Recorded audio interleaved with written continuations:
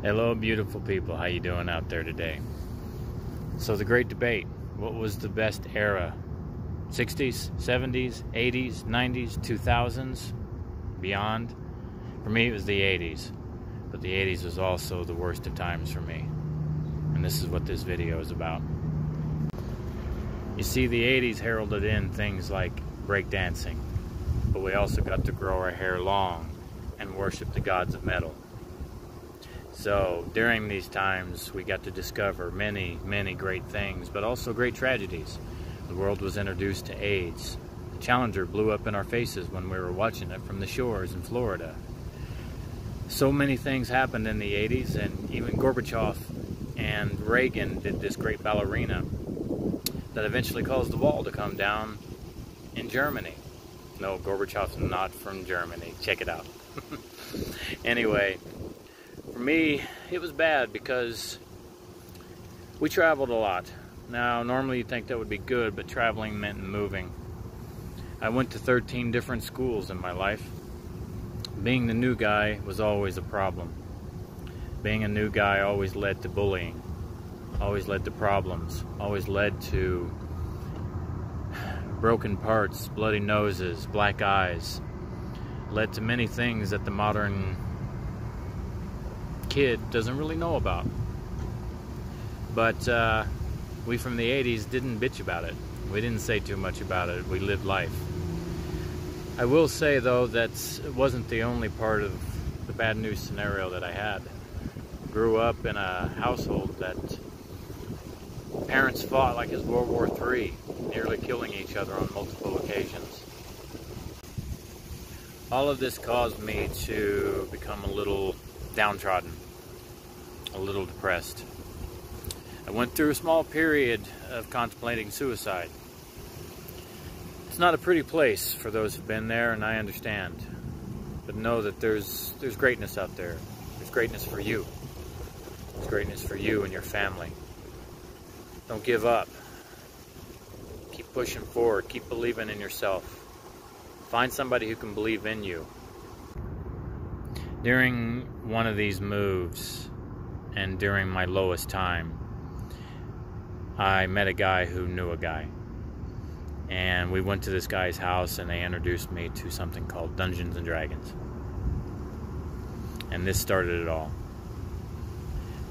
Because I got to have an outlet, whereas I didn't have one in my home. I didn't have one in the schools got to have an outlet for my brain, for my psyche, for my spirit, for my imagination.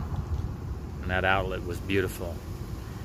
That outlet led me to not only the gaming side, but it also led me to a new world of books, a new world of imagination, a new world of believing there could be something better.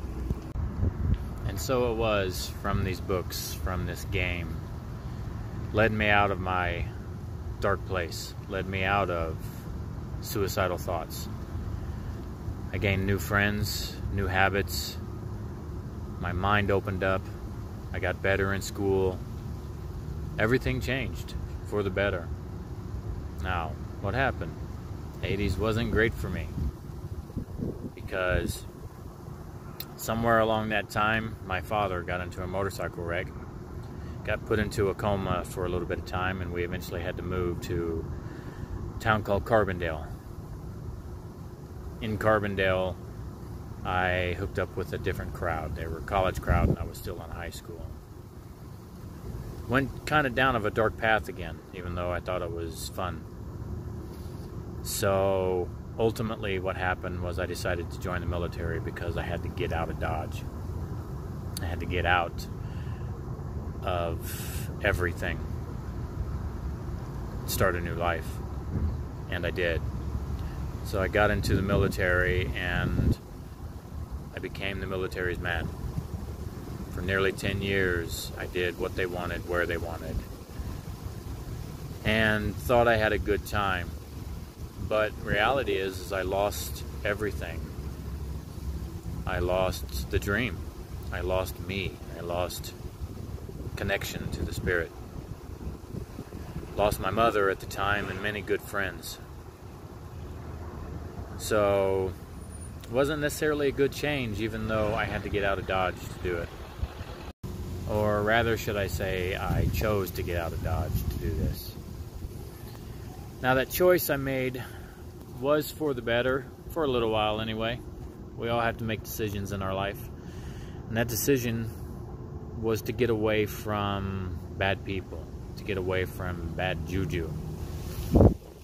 So I did 10 years in the military and then I did 10 years in the corporate world after the military. And all through this time, I still had not found myself.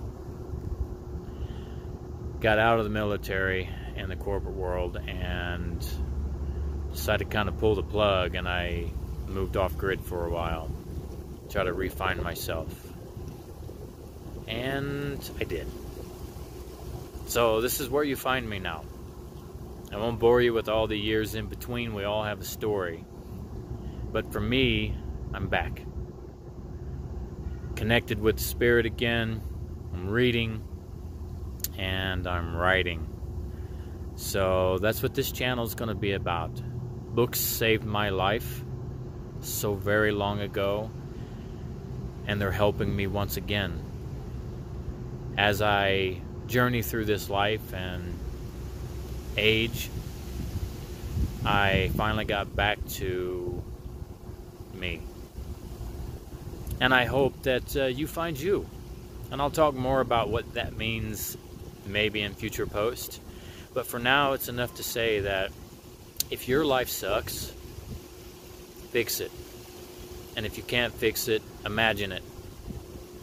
You think on it long enough, you think on it hard enough, you imagine it enough, you vision it enough, you'll find a path. The universe will open a path for you.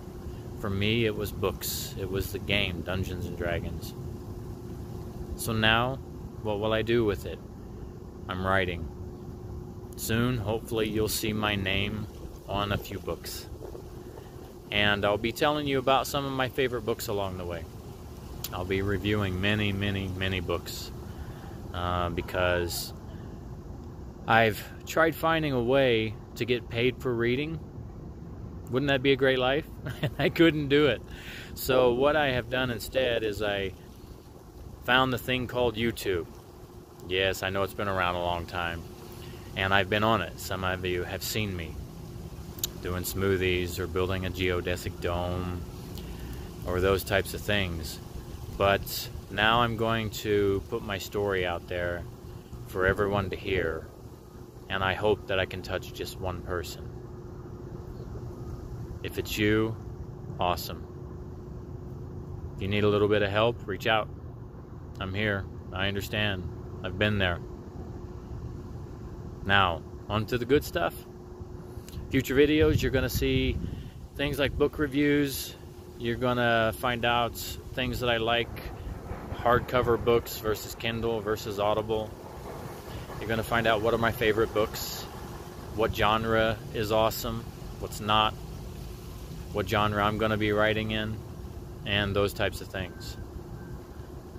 But I hope to hear from you. I hope you engage with me. I will engage back with you.